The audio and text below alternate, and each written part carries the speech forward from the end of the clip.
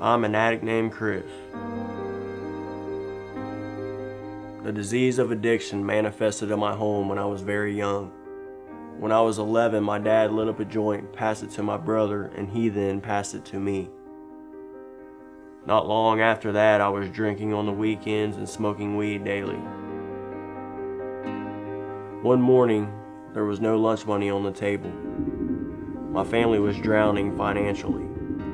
I decided to become a drug dealer at the age of 12. What was once the party house became filled with pain and misery. I coasted for a while.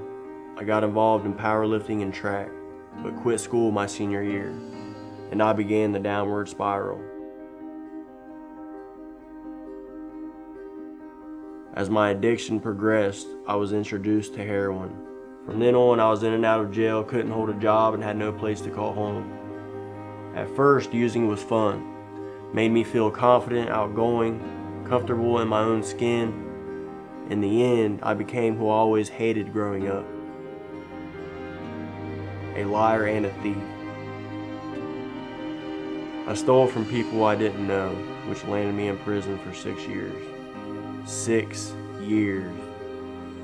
While I was incarcerated, I got my GED and joined a recovery program. But two days after my release, my brother died from a heroin overdose. I used drugs to numb the pain because it was the only way I knew how to deal with it. After being arrested for my second OVI, I was incarcerated again. In miserable withdrawal, I remember praying to God to deliver me from the desire to use. I felt hopeless, helpless, worthless, and was desperate for change. I got released after four months and hit the ground running. But then I met this girl. We relapsed together eventually. She went to jail and I rejoined the drug court program. I was five months clean when I found out she was pregnant. She relapsed again after her release and struggled through the remainder of her pregnancy.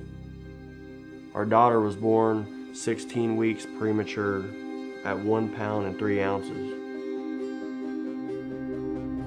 She was a gift from God. I graduated from drug court with 100% compliance, and after three months in the incubator, Rayleigh, my ray of light, was released into the world.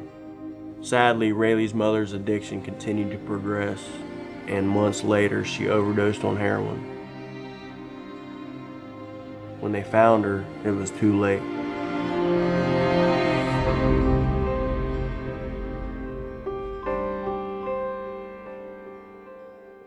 I recognized that complete surrender was absolutely necessary.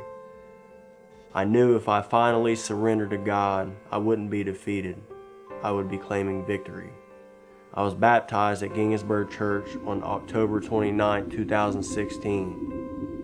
I had been underwater my whole life, drowning.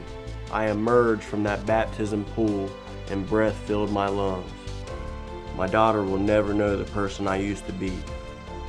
By the grace of God and Narcotics Anonymous, I celebrated two years clean November 18, 2016. I got out of God's way, and knowing Jesus has given me serenity and freedom. Jesus Christ is my Lord and Savior.